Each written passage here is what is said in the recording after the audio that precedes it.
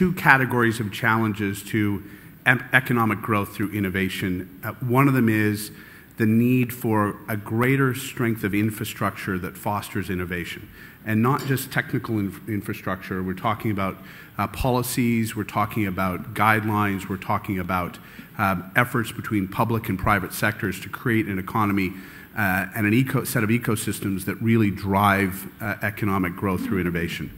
The second type of, of challenge is all around education ensuring that there are sufficient numbers of properly educated people who can take their place in a new and innovative and digital economy.